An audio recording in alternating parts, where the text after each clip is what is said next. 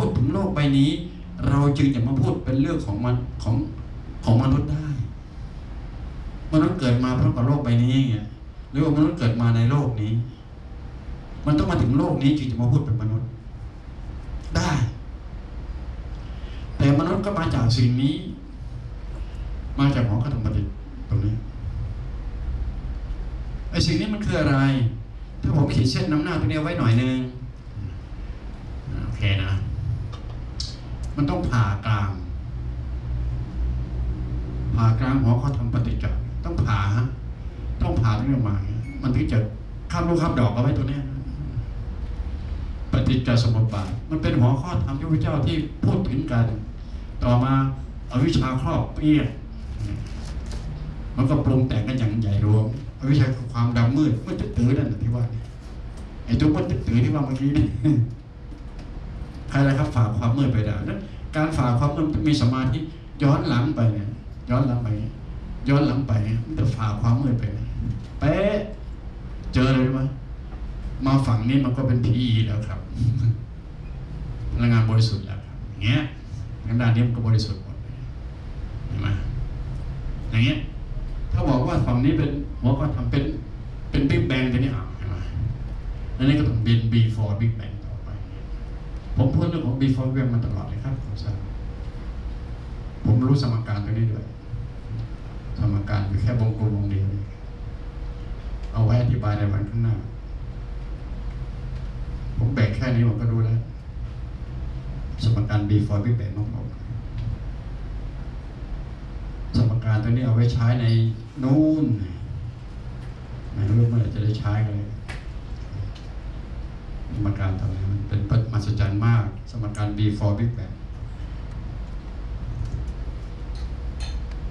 จะเหนือกว่าสมการไอน์สไตน์เยอะหลายเท่ามาก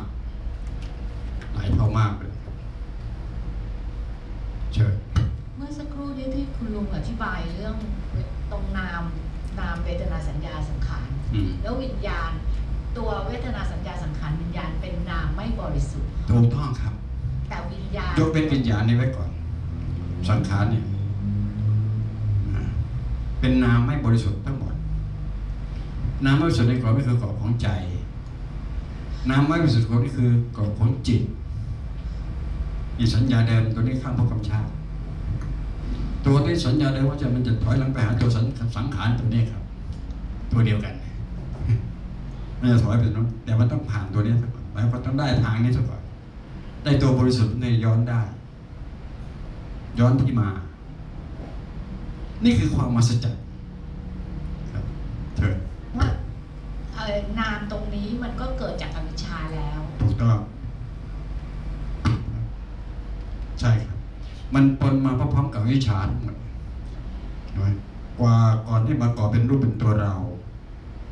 ผ่านกระบวนของคำว่าดินน้ำลมและไฟมันเป็นตัวเราเห็นไหมเมื่อเวลารู้ตัวเราเข้าใจตัวเรา เห็นตัวเรา จนหมดตัวเราเองมันก็ไปทีนี้ครับ ไปอะไร มันก็ไปตามทุกสมุทัยสมุทัยสมุทัยสมุทัยสมุทัยสมุทัยสมุทัยสมุทัยสมุทัยสมุทัยจนทั้งสู่คำว่าคำว่านี้รอดเปี้ยงจบคำว่านิโรธจะมาจุดตรงนี้นะครับ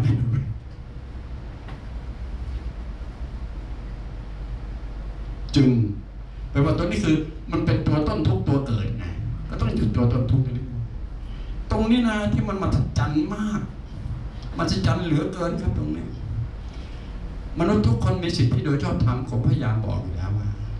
ตัวนี้ต้องผ่านตัวสเปิร์มอย่างเดียวเมื่อเช้ามีคนโทรมาหาผมเขาบอกว่าเขาเห็นเขานอนสมาธิอะไรของเขาเนี่ยฮะนอนเขาเห็นตัวเขานอนขดอยู่ในท้องแม่ แล้วเขาก็ผมบอกว่า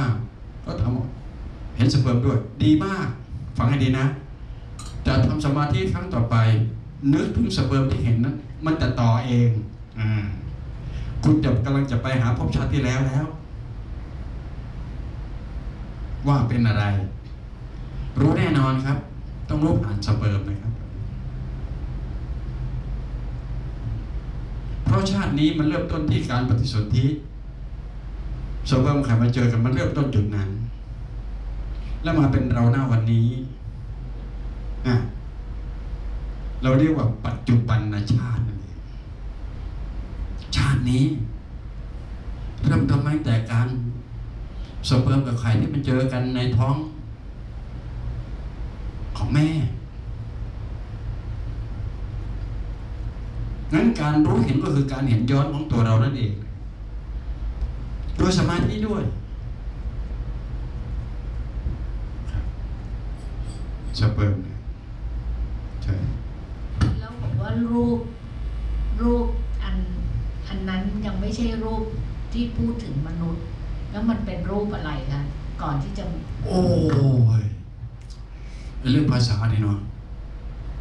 นะถ้าไม่มีภาษามันก็ต่อไม่ติด ครับ ผมต้องบอกว่าคนที่ใช้ ภาษาเนี่ยมันไม่ใช่ธรรมดานะภาษาพุทธศาสตร์เนี่ยไม่ใช่ภาษาธรรมดานะครับ ผมก็ไม่รู้เหมือนกันว่าท่านใช้ภาษามายังไง เป็นนามเป็นรูปเป็นท่านครับท่องจำหมอข้อธรรมปฏิจจ์คือมาแต่ทางทางน่ะนะนะลองลองมันมีอยู่สิบเอ็ดหัวข้อนะครับผมว่าท่านติดปากติดอยู่แล้ว มันเริ่มต้นอวิชชาสังขารวิญญาณนามรูปนี่ไงนามรูปแล้วก็อายตนะอ่าอายตนะผัสสะเวทนา ตัณหา อุปาทานอืมแล้วก็ชาติ ชราอืมมรณะเอามันก็อยู่กองอยู่ตรงนี้หมดที่ว่าเนี่ยใช่ไหมที่พูดมามันก็อยู่กองทั้งนั้นเลยเอารูปเมื่อกี้คือคำว่ารูปนะ อายตนะห้าหูตาจมูกลิ้นกายเห็นไหมก็อยู่กองอยู่ตรงนี้เนี่ยคำที่ท่านพูดเมื่อกี้นี่แหละครับเวทนา มีคำว่าเวทนาไหมครับท่านก็คือเวทนาตัวเดียวกันนี่แหละก็แปลว่ามนุษย์เราก็เป็นส่วนย่อของอะไรส่วนย่อหมอเขาทำปฏิจจสมุปบาทนั่นเองแล้วจะให้ว่าไง มันเป็นส่วนย่อ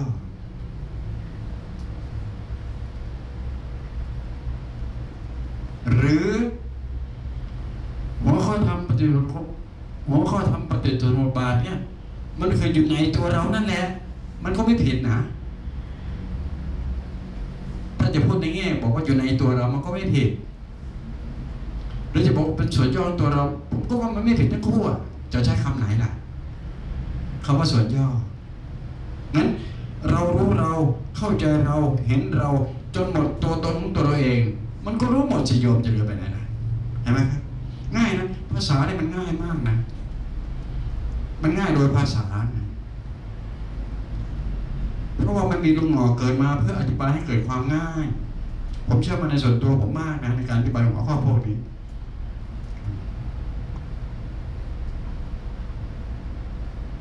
ดูในตัวเราทั้งหมดเห็นไหมแต่เราจะรู้ ได้ถึงก็ต้องผ่านกระบวนการตรงนี้นี่สัญญาเดิมข้ามภพชาติสัญญาที่เรารู้จักกันดีเนาะจำได้หมายรู้ มีแค่นั้เองฟังกันมาหลายรอบทุกคนแล้วจำได้ หมายรู้อธิบายจำได้ไหมกอเอ๋ยกอไก่ขอไข่เนี่ยแล้วขอโขดของเราคอคนคอควายเข้านาก่อน คอควายจำได้คอควายเราต้องจำฟังดีนะตัวนี้จะอธิบายหมายรู้นะจะคำว่าหมายรู้คือความหมายนั่นเองคอควายจำได้คอควายคอควายเขียนถูกหลับตาเขียนก็ได้จำได้หมายรู้คำว่าควายเขาสัตว์สี่ขาเนี่ยเดินอยู่กลางทุ่งเลยเนี่ยนั่นคือความหมายของคำว่าควาย ก็เอาความหมายคำว่าควายมาใช้คำว่าหมายรู้คือความหมายของคำว่าควาย ก็คือลักษณะนามเห็นไหมครับเนี่ยเราต้องเข้าใจในแค่ว่าลักษณะด้วยนะ ลักษณะนามนั่นคือพิธีการเป็นความเข้าใจ จริงได้ แล้วมันจะไม่ลืมด้วยเหมือนกับว่า